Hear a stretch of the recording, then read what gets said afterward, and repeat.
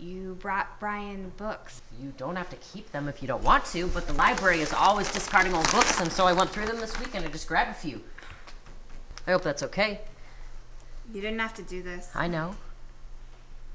But I wanted to. So, here.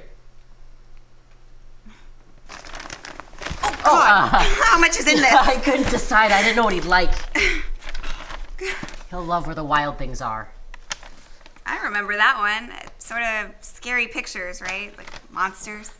But Max stepped into his private boat and waved goodbye and sailed back over a year and in and out of weeks and through a day and into the night of his very own room.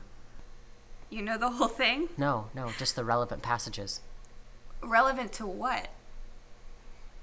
I don't know. As a kid, I couldn't figure out why, after defeating the wild things and becoming their king, Max decides to go back home. But you wouldn't have gone back home? Absolutely not. No. Me neither. I should really let you watch TV with your friend. Or maybe uh, you'd like to watch TV. or do you only read? No.